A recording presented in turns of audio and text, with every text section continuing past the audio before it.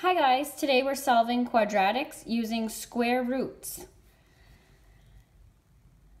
The skills you'll learn today, you're going to use when you see an equation that has an x squared, that's a quadratic, or a quantity squared, that would be a quadratic. You would just see with your eyeballs. See those, quadratics. When you see these, you can use square roots to solve for x. This is a square root symbol. Let's just practice some basic square roots. The square root of 16 means what two numbers multiply to itself to get 16. Hopefully in your head you thought 4, but there's also another answer. What else times itself gives you a positive 16? Yes, negative 4. So your answer is positive and negative 4, and we can say it like that. So this means a positive 4 and a negative 4. So kind of like shortened it. It's like shortcut. What's the square root of 25? Positive, woo, oh and negative 5. If you multiply those by itself, you get 25. The square root of 81 is plus or minus 9, or positive or negative 9. The square root of 326. Now that even I can't do in my head, I'd have to use a calculator. So on a calculator, um, on your phones, it would look like this symbol that you're looking for on most of your phones. You might just see that. You might see a little 2 there, meaning you're taking the square root. Um, the Desmos does have a good scientific calculator. Those are good to calculate this. The square root of 326 would be a positive and a negative 18.06. That means 326 is not a perfect square. Where 81, 25, and 16, those are considered perfect squares because their square root numbers are whole numbers or integers. And 18.06 has a decimal involved. So this is not a perfect square, but we can still square root it using a calculator. You're going to solve some equations now. The steps to solve. First, isolate the squared term. Second, square root both sides to keep everything balanced. And then you'll get two answers. Solve for x. The squared term is already isolated. So my step is to square root both sides. But before we do that, let's discuss what this equation is really saying. It's really saying what number, so some number, I'm to call it a box. Some number times itself, because that's what it means to square, is a positive 36. So what number times itself gives you a positive 36? Your answer should be 6 and negative 6. So um, let's see, because 6 times itself gives you 36, and negative 6 times itself gives you 36.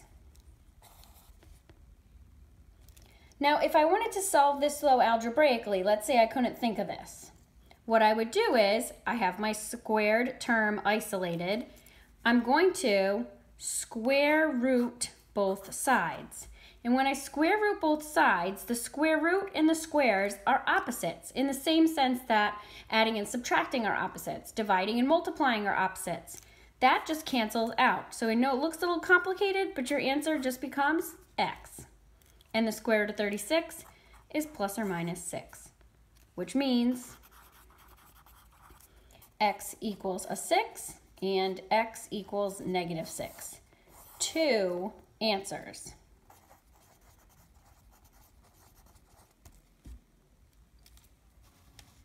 Number two, 80 equals x squared minus 20.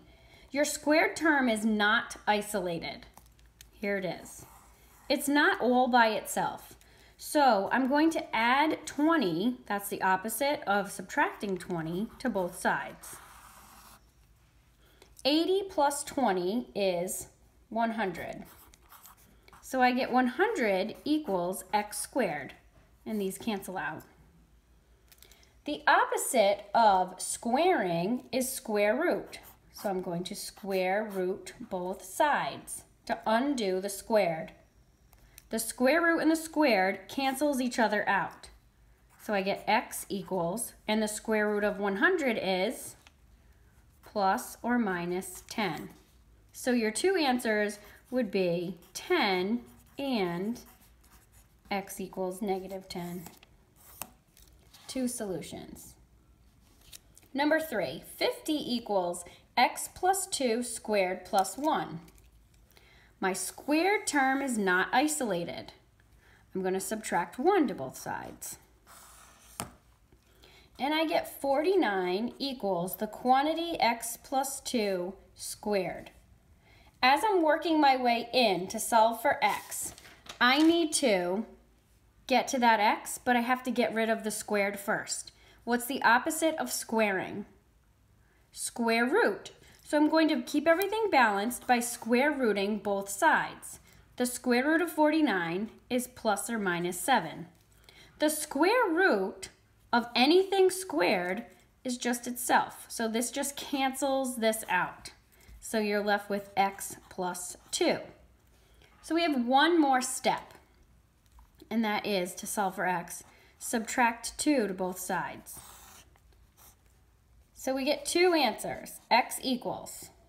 Now this looks weird, but remember this just means a plus 7 and a negative 7. So really you have two answers, 7 take away 2 and a negative 7. Oops, not fraction. Negative 7 take away 2.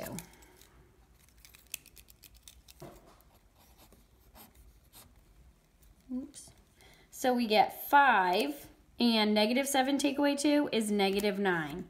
Two answers for x. Next page. Number 4. Copy that equation. Solve 64 equals 6 times x minus 5 squared plus 10. Your squared term is not isolated. So, first step, subtract 10 to both sides. And I get 54 equals 6 times x minus 5 squared. My squared term is not isolated. I have to move the 6. 6 is not getting squared. To undo this multiplying, I'm going to divide. So if you wanted to write notes, we had to subtract 10, and then we had to divide by 6 to both sides. That cancels this out. And I get 9 equals um, x minus 5, that quantity, squared. What's the opposite of squaring? And this is where you will square root both sides.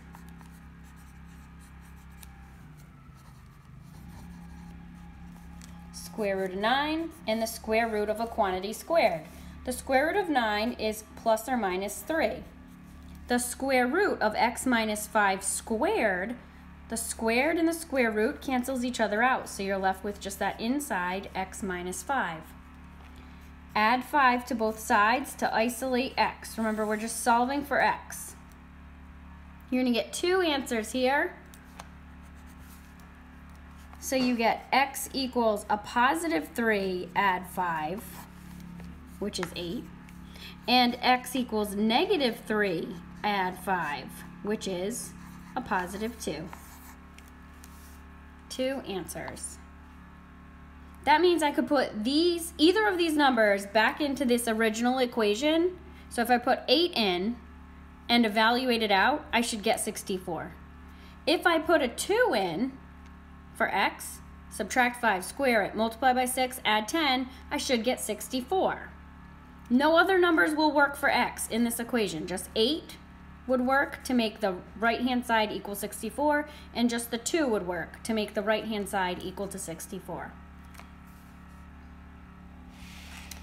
Next, remember last time in our notes we um, talked about a pumpkin getting catapulted.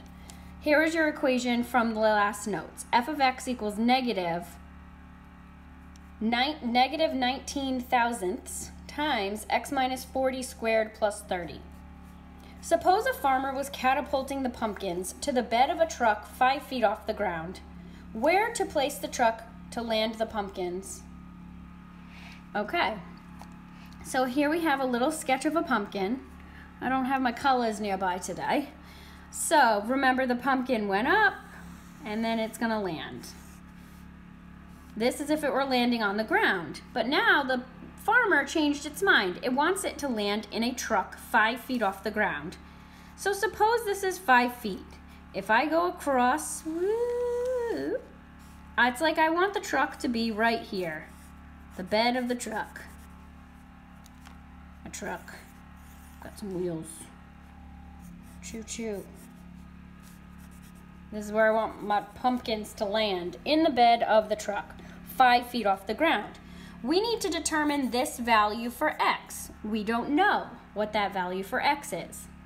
Now notice though on the graph, the pumpkin will go up, up, up, up, up and land. It will hit five feet at two spots, but you want this side. You want the larger, larger value for X. We want the one, not when the pumpkin's going up in the air, we want the one when the pumpkin's coming back down to land into the truck. So the five, notice how the five is five feet off the ground, and that is on your y-axis. So in this equation,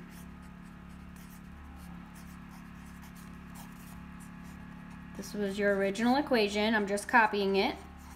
In your equation, you are going to put 5 in for f of x, in for the height. 5 equals negative 0 0.019 times x minus 40 squared plus 30. Now it looks complicated, but it's super similar to that last problem we did above. You want to isolate your squared term. So I'm going to subtract 30 to both sides and I get negative 25 equals negative 0.019 times x minus 40 squared. I'm going to divide both sides by 0.019 negative. Use a calculator. I got 1,315.79 when I divided those two equals x minus 40 squared. Now I'm going to square root both sides. I definitely would need a calculator for this. I don't need a calculator on the right hand side because I'm square rooting a squared. That just cancels. So it's almost like everything on the right hand side cancels. The plus and minus 30s canceled. The multiplying by that decimal, dividing by the decimal canceled. The squared and the square root cancels x minus 40 equals plus or minus 36.274. Remember, in your calculator, you're looking for a square root button. So we have one more step, add 40 to both sides, and remember this is gonna make sense because there's two x values when the pumpkin's at a height of 5 on its way up and then on its way down. So we get two answers.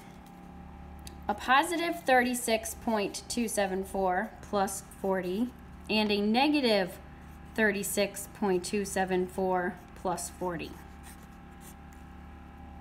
So we get 76.274 feet or 30 3.7 feet.